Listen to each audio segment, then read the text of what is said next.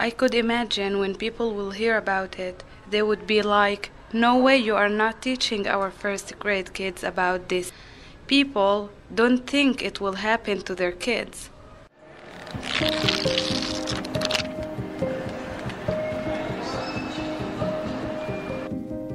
I'm a Kennedy Lugar Youth Exchange and Study uh, Program alumni. Now I'm finishing my master's in clinical psychology at Tel Aviv University. Two years ago, when a friend of mine came to me and she was crying, I knew that uh, something bad happened at her home. Um, she was she told me she was touched by her cousin. I was really shocked to know how common and what widespread this issue is. My community basically is not doing much about this issue.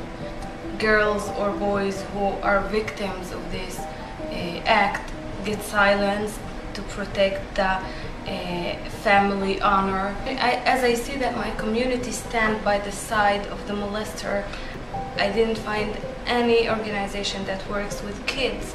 I've never got any class of sexual education whatsoever. I thought that we could do, do something to teach the children how they can protect themselves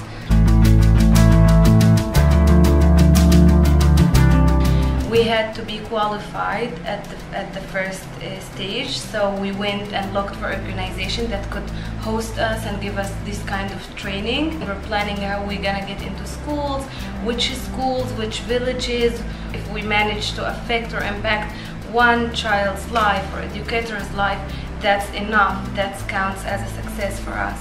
We know that our journey is long and it's full of difficulties. It's worth it saving child's lives.